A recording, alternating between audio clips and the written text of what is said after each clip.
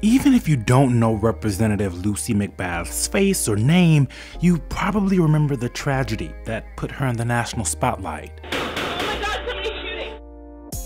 In 2012, her son Jordan Davis was murdered for playing loud music in his car in Florida. Her son's killer was found guilty and is now serving life in prison.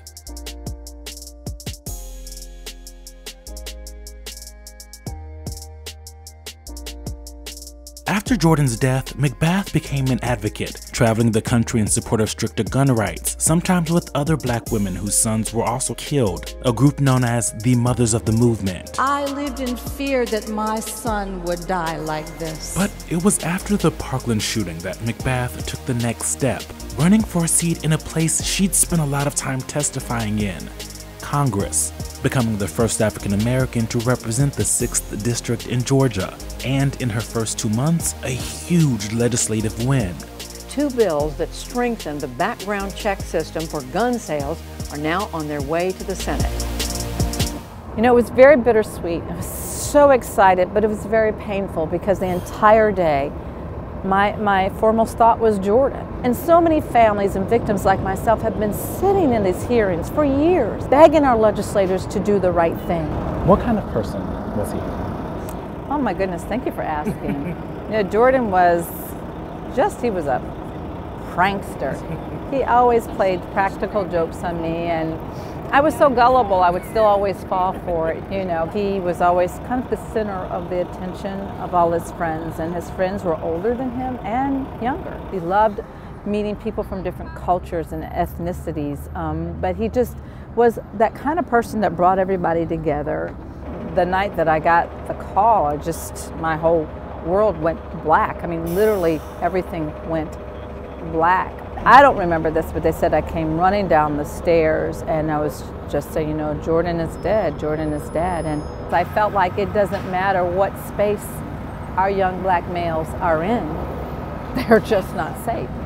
And everything that you teach them, everything that you protect them from and shield them from and teach them how to protect themselves, how do they ex exist with this, you know, sense of racism and discrimination and, and implicit bias, how are they going to survive?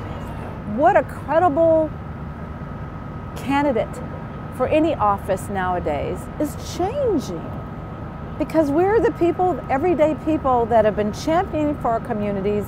We've been working in our municipalities. We've been doing the work already. So we have the experience, we have the tools, we have the know how.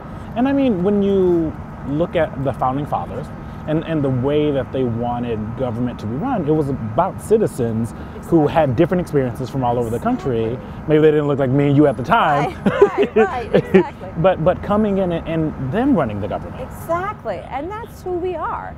You know, this freshman class, we're the most diverse that have ever been elected the most numbers of number of women that have ever been elected and women of color. We are our community. And we are the face of democracy as it looks now. It's diverse and it's inclusive. On your campaign website, it said that you were protecting the Second Amendment rights of Georgia, but felt that there are things that we should be doing to change the way that we talked and felt about guns. What do you think about the relationship the United States has with guns? The relationship that the United States have, has with guns is a love affair. We are a nation of guns. And I honestly don't believe we won't ever be. You know, it's become part of who we are as a culture. My father was a hunter. My oldest nephew was a sniper in the Marines. I remember my father coming home at night after he'd been hunting and taking my mom screaming, Lucien, let me put the newspaper down on the table before you skin that rabbit.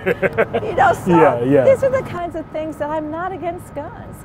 But there are law-abiding gun owners and law enforcement and, and, people, and people in the military that believe that we have an extremist gun culture that has to be reckoned with. What do you have to say to black moms and all moms, but specifically black moms who are every day fighting to make sure that what happened to your son, what happened to, to the other mothers of the movement, doesn't happen to them? What, what, what kind of hope should they have? What I say to them all the time is that you cannot transfer that fear that you have onto your children. You have to teach them how to stand strong, even in the midst of all of this chaos and trouble. But it's our responsibility to equip them to do that. And that's what we have to be teaching our children not to be afraid. In the midst of everything that's happening in this chaotic world, not to be afraid. Go forth, stand tall. You are good enough. Believe in that despite the odds. Just stand.